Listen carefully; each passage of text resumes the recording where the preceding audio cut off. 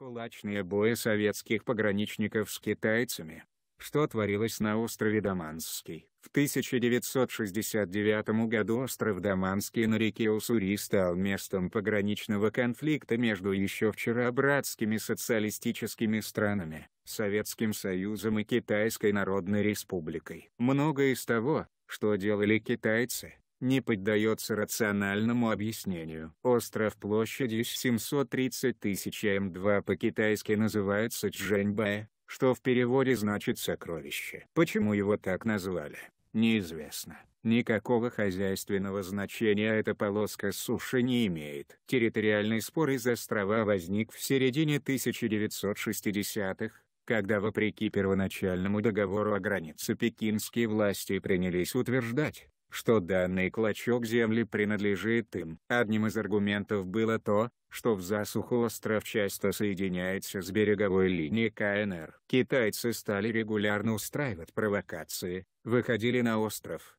демонстрируя, что он якобы принадлежит им. Поначалу к этим акциям привлекали местных крестьян. Например, в 1965 году остров вспахали тракторами. Впоследствии для провокаций стали использовать хунвейбинов, молодых последователей великого кормчего. Выходя на Даманский, они кричали, ругались, размахивали цитатниками Майя до и скандировали его высказывания. Подобное повторялось в 1967-1969 годах чуть ли не каждую неделю. Часто между хунвейбинами и советскими пограничниками завязывались кулачный бой. Несмотря на численный перевес и изворотливость китайцев, Победителями из схваток неизменно выходили русские. Весной 1969 года дошло до применения оружия. В ночь на 2 марта 300 китайцев, по другим данным, 700, одетых в белые маскировочные халаты, заняли позиции на острове. В ответ на требования советских пограничников уйти китайцы открыли по ним огонь из минометов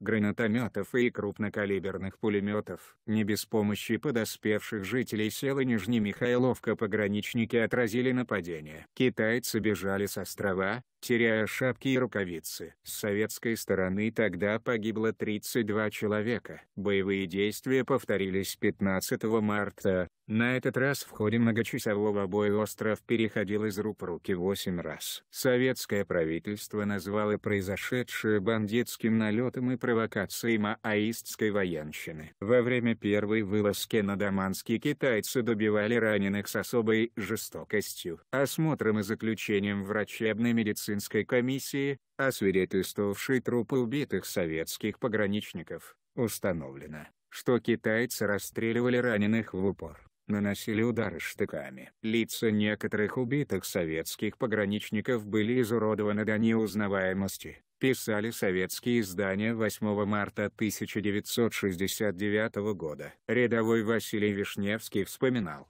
что у некоторых его сослуживцев были выколоты глаза, и признавался, что от увиденного волосы вставали дыбом. Возможно, китайцы не стали бы так зверствовать, если бы не были пьяны. После боя русские, помимо китайского военного снаряжения, обнаружили фляги из-под водки, которые были у каждого солдата на АК. Вплоть до сентября 1969 года китайцы еще неоднократно пытались попасть на остров, но их встречал огонь из артиллерийской установки «Град». Провокации имели место и на других участках границы, в частности, у озера Жаланашколь. В 1969 году Советскому Союзу удалось сохранить статус-кво, заключив соглашение с КНР. Но по прошествии двух десятков лет Китай добился своего, в 1991 году Москва признала суверенитет КНР над островом. Сейчас на Чжэньбае постоянно размещаются китайские казармы. Уважаемые читатели, помогите увидеть этот пост большему количеству читателей. Ведь если его не лайкают и не пишут комментарии, алгоритм прекратит показы. А мне очень хочется,